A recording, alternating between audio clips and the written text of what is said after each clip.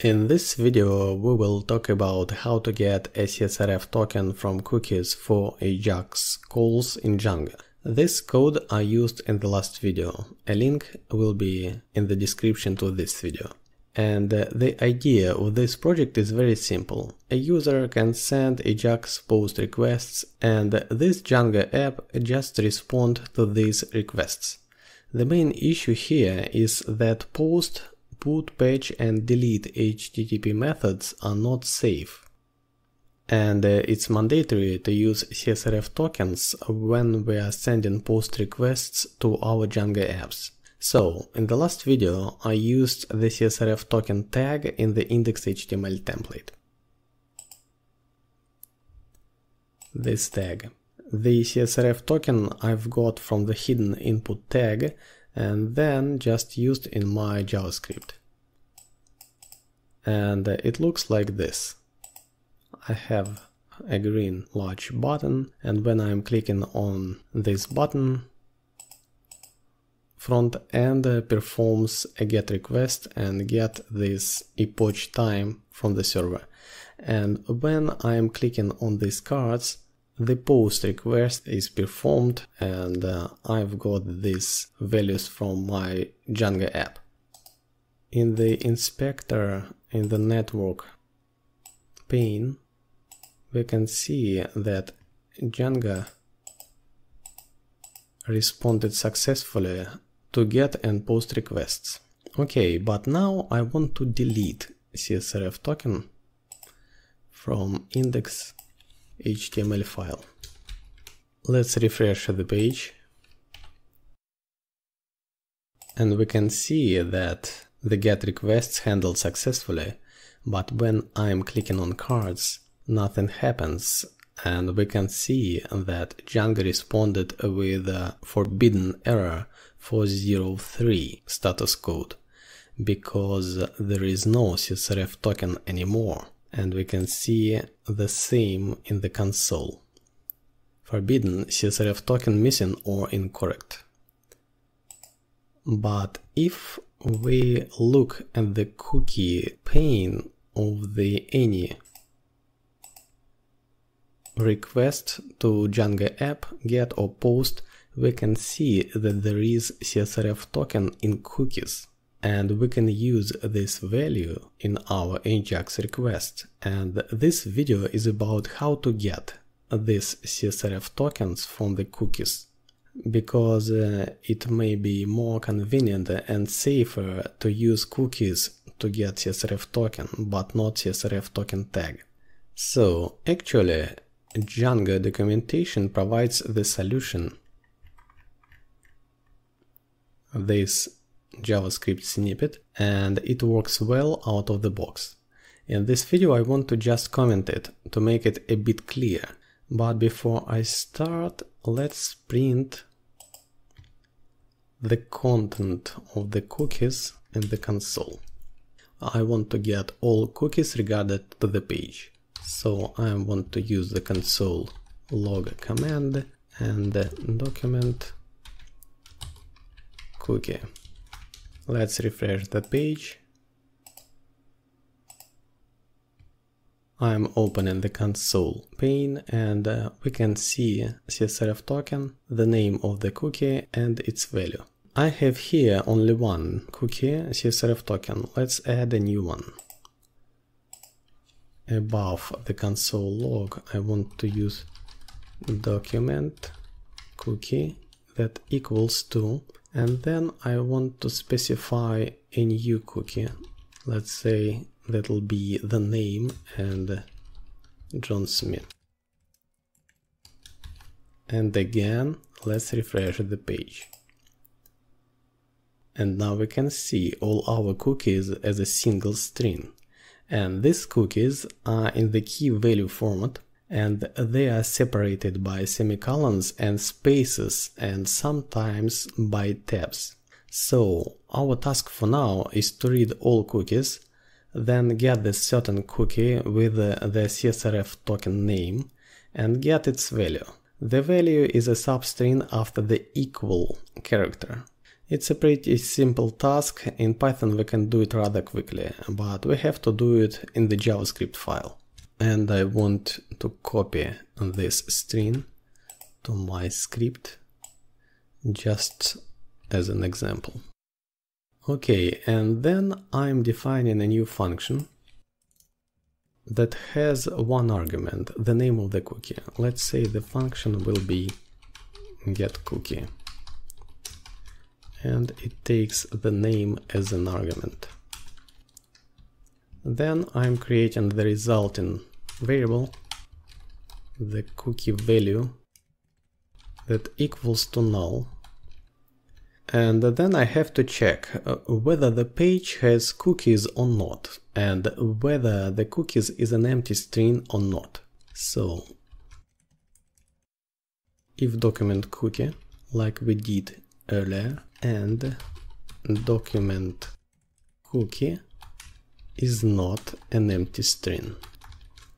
If it's true, I want to split all cookies by semicolon and uh, as a result I'll get a list of strings. So I'm creating a new variable cookies that equals to document cookie. Then I'm calling its split method and the separator will be semicolon. And now the cookies variable contains the list or array of strings. And then I want to iterate over the cookies list in a for loop to clean each element from spaces or tabs, if any. We have one here. And also I want to check whether it starts with the CSRF token string or not. And if it does, I'm going to get its value just by getting its substring starting from the next character after the equal sign until the end of the string. And that's it. So I'm starting here a for loop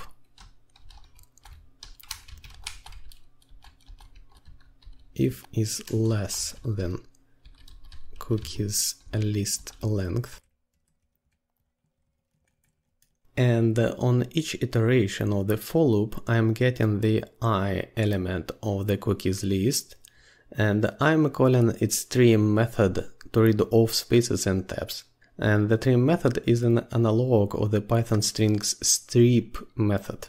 So I'm creating a new variable cookie that equals to cookies i and I'm calling its trim method. Then I have to check whether the cookie starts with the CSRF token and the equal character. Unfortunately, JavaScript has no starts with method unlike Python strings, but we can do the same with the following way.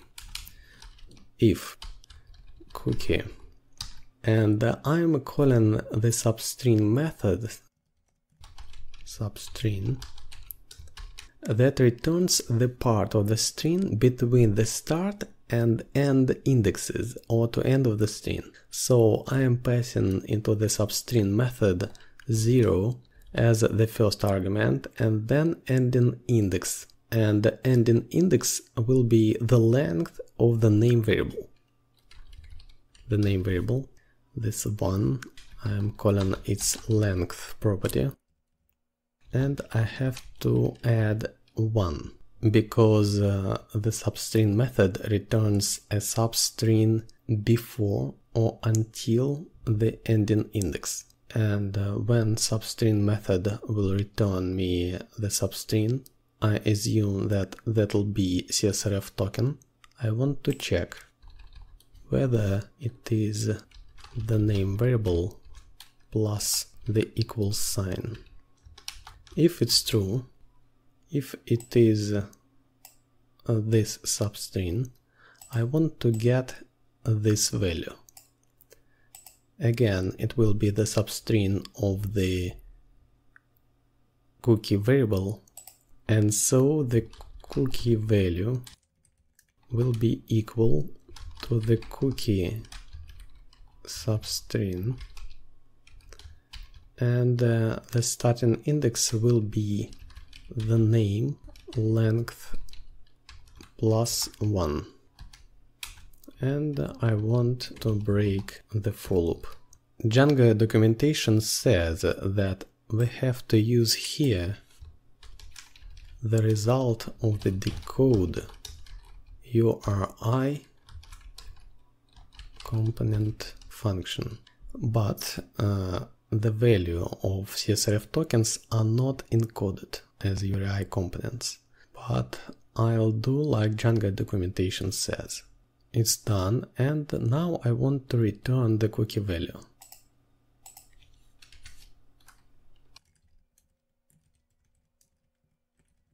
And uh, now I want to get my CSRF token. So I'm creating a new variable CSRF token that equals to the call of get cookie function and I want to get the CSRF token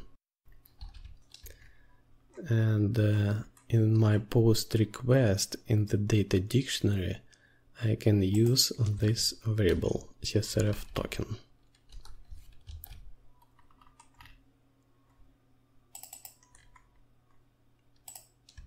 It will be enough for using with the Ajax post requests, but before I'll test it, I want to check my function for typos.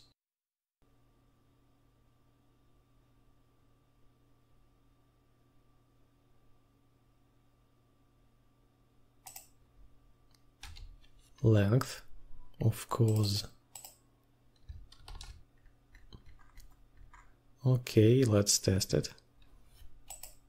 F5, get requests and post requests. It works, great. But Django allows us to pass CSRF tokens in our apps uh, not in the data dictionary, but with the requests headers. And we can use these two snippets from this section, cross-site request forgery protection. But I want to start from the scratch. So somewhere here, to set the headers of Ajax requests, we can use the Ajax setup function. Ajax setup and the Ajax setup function just edit the settings object that defines the default parameters of future Ajax requests. And we can look at it in the inspector's console. jQuery Ajax settings. There are many parameters of Ajax requests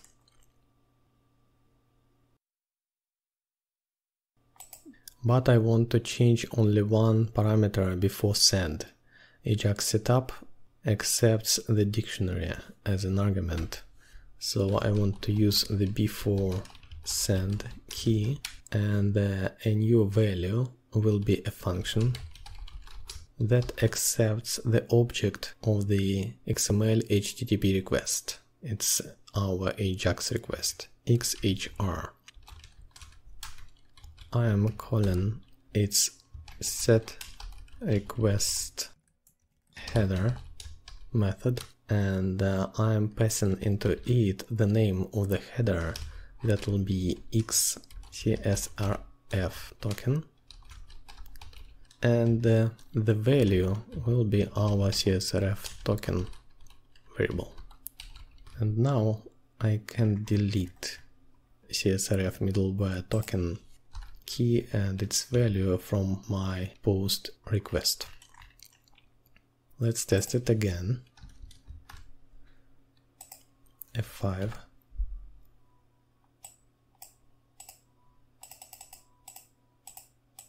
And it works, still works. I'm sorry, network we can see and we can see in the headers pane request headers we can see our x CSRF token with the value of our CSRF token cookie. Okay, it works, but this solution is not universal because I am passing the CSRF token with any AJAX request. But CSRF tokens are required only for post, put, patch or delete requests. And also, it is a good idea to prevent tokens from sending to other domains, to prevent cross-domain requests. To filter out improper requests, we can use a helper function that will check whether a request type is a post, put, delete, patch, or otherwise whether request type is get, options, head, etc. So let's create a helper function above my Ajax setup function. Let's say it will be csrf save method that takes a method http method as an argument, its name. And here uh, we can use a regular expression like Django documentation suggests. But maybe it is more convenient to use a list and uh, its includes method. So the returning value will be the following. I am creating a list of strings. It's uh, HTTP methods, options, head, and trace. They are save method. And now I am calling its includes method and I am passing into it the method variable and that's all. The includes method works like Python's in keyword. So if the argument of the includes method is in this list, this expression returns true. And then in the Ajax setup function, I want to just check whether the type of request is safe or not, and whether the Ajax request is the cross-domain request or not. So my function also gets a new argument, the settings object. And here I want to check if then I'm calling csrf save method this one and I'm passing into it settings type we saw settings type in the console when I called Ajax settings object. So we will get the type of the request and then we will call csrf save method. And if this method is save method, the csrf save method will return true. Otherwise, it will return false and it means that we have to pass with this request our csrf token.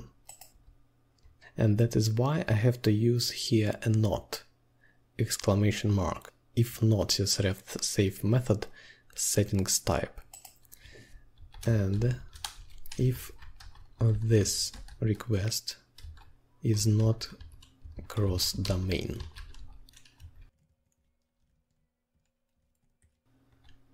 And that's all. Let's test it again. F5.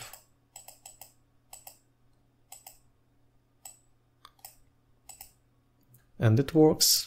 That's all. If you like the video, please thumb up and subscribe to the channel. Thanks for watching.